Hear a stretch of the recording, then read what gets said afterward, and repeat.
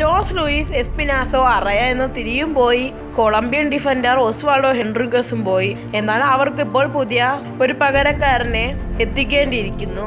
എന്നാൽ ഇപ്പോൾ കേരള ബ്ലാസ്റ്റേഴ്സ് ഒരു ആഫ്രിക്കൻ കരുത്തിനെ അവരുടെ വിടവ് നികത്താനായി ടീമിലെത്തിക്കാൻ തയ്യാറാകുന്നു. കൂടുതൽ വാർത്തകൾ അറിയുന്നതിന് മുമ്പായി എന്റെ ചാനൽ സബ്സ്ക്രൈബ് ചെയ്യില്ലെങ്കിൽ സബ്സ്ക്രൈബ് ചെയ്യുക. അടുത്തുനിന്ന് ബിലേക്ക് ചെയ്യുക ലൈക്ക് ചെയ്യുക കമന്റ് ചെയ്യുക ഷെയർ ചെയ്യുക. സോ നമുക്ക് നേരെ വീഡിയോയിലേക്ക് കിടക്കാം.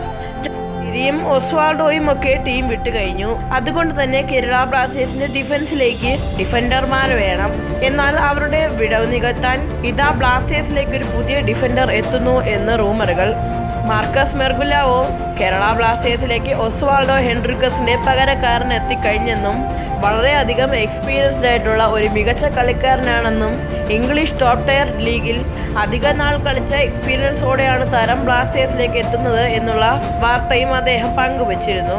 എന്നാൽ ഇപ്പോഴത്തെ റിപ്പോർട്ടുകൾ പ്രകാരം മാർക്കസ് പറഞ്ഞ ആ ഡിഫൻഡർ സിംബാവെ ഇന്റർനാഷണൽ മുപ്പത്തിനാല് വയസ്സുകാരൻ കോസ്റ്റ നഹമീനുസുമാണ് അദ്ദേഹത്തിനെ കുറിച്ച് പറയുമ്പോൾ ലെഫ്റ്റ് ബാക്കും സെന്റർ ബാക്കും ഒരുപോലെ കളിക്കാൻ കഴിവുള്ള ജിങ്കനപ്പുറത്തിന്റെ ടീമിനോട് നല്ലവണ്ണം കമ്മിറ്റ്മെന്റ് പുറത്തെടുക്കുന്ന ഒരു താരം ഇദ്ദേഹം ഇദ്ദേഹത്തിന്റെ കരിയറിലാകെ മുന്നൂറ്റി ഇരുപത്തഞ്ച് മത്സരങ്ങൾ കളിക്കുകയും പത്തൊമ്പത് ഗോളുകൾ അടിക്കുകയും ഇരുപത്തൊന്ന് അസിസ്റ്റുകൾ തന്റെ പേരിലേക്ക് കുറിക്കുകയും ചെയ്തിട്ടുണ്ട്. ഇതിൽ നിന്ന് നമുക്ക് മനസ്സിലാകുന്നത് താരം ഒരു ഡിഫൻഡർ ആണെങ്കിൽ പോലും എപ്പോഴും ഡിഫൻഡിൽ മാത്രം നിന്ന് കളിക്കുന്ന ഒരാളല്ല എന്നുള്ളത് ഈ സ്റ്റാറ്റിൽ നിന്ന് വ്യക്തമാണ്. അതായത് നമ്മുടെ കോച്ച് കിബു വിഖുനയുടെ തന്ത്രം എന്ന് പറയുന്നത് ഡിഫൻഡിൽ നിന്ന് കളി മെനയുന്നതാണല്ലോ എന്നാൽ ഇദ്ദേഹം അതൊരു പറ്റിയൊരു താരമാണെന്നുള്ളതിന് ഒരു സംശയവും വെക്കേണ്ട ആവശ്യമില്ല. ഇതുകൂടാതെ ഫോർച്യൂണ ലീഗിൽ നൂറ്റി നാൽപ്പത് മത്സരങ്ങൾ കളിച്ച എക്സ്പീരിയൻസ് താരത്തിനുണ്ട്. ഇതുകൂടാതെ യു എഫ് യൂറോപ്പ ചാമ്പ്യൻസ് ലീഗിലും കളിച്ച എക്സ്പീരിയൻസ് ഈ താരത്തിനുണ്ട്. ഇദ്ദേഹം ഒടുക്കം കളിച്ച ക്ലബിൽ അദ്ദേഹം ചേർന്നത് രണ്ടായിരത്തി പതിമൂന്നിൽ. അതിനുശേഷം അദ്ദേഹം അവിടുന്ന് ക്ലബ്ബ് പടിയിറങ്ങുന്നത് രണ്ടായിരത്തി ഇരുപതിൽ അതേ അദ്ദേഹം ഒരു ഏഴ് വർഷം കളിച്ച ആ ക്ലബിലുള്ള ബന്ധത്തിനൊടുവിലാണ് താരം ക്ലബ്ബ് വിട്ടത്. ഇതിൽ നമുക്ക് ഒന്ന് മനസ്സിലാക്കാം താരം ഒരു ക്ലബിൽ വന്നിട്ട് പെട്ടെന്ന് ആ ക്ലബ്ബ് വിട്ടു പോകാൻ കഴിയുന്നൊരു താരമല്ല എന്നുള്ളതാണ്. അതുപോലെ തന്നെ താരം കേരള ബ്ലാസ്റ്റേഴ്സിലും ആ ഒരു സ്ഥിതി തന്നെ വരട്ടെ എന്ന് നമുക്ക് പ്രാർത്ഥിക്കാം.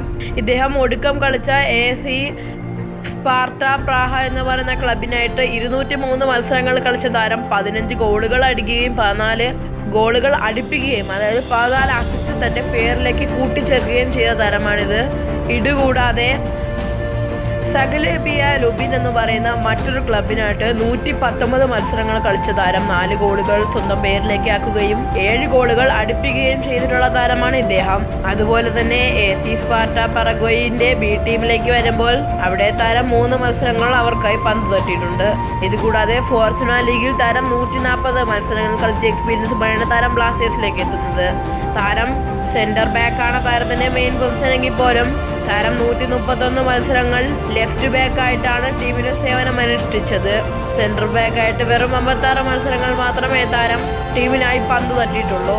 ഇതുകൂടാതെ ലെഫ്റ്റ് ബാക്കായി കളിക്കുമ്പോൾ താരം എട്ട് ഗോളും പതിനൊന്ന് ഗോളുകൾ അടുപ്പിക്കുകയും ചെയ്തിട്ടുണ്ട്. സെന്റർ ബാക്കായി കളിക്കുമ്പോൾ ഏഴ് ഗോളുകൾ തന്റെ പേരിലോട്ട് ചേർക്കുകയും ഒരു ഗോൾ അടുപ്പിക്കുകയും ചെയ്തിട്ടുണ്ട്.